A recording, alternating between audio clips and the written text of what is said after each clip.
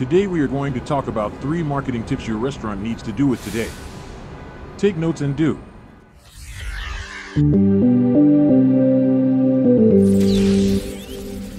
Three essential marketing tips your restaurant needs to do today. 1. Optimization of NAPs.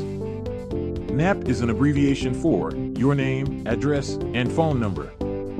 Suppose a customer goes to a search engine like Google and types in find local restaurants near me.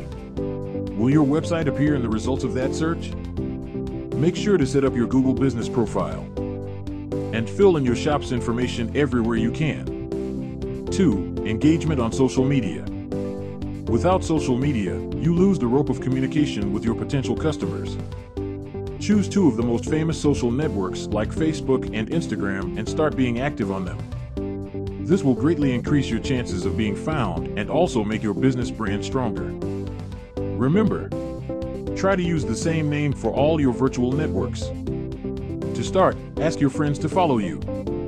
3. Offline marketing strategies. Don't forget about the physical world in your restaurant marketing plan. These tactics are making great effect if you're a local restaurant. Menus, digital signages, care packages, free samples, local newspaper, radio, and TV. These tips may seem like simple things, but together they will bring great results to you. Don't forget to like and subscribe us.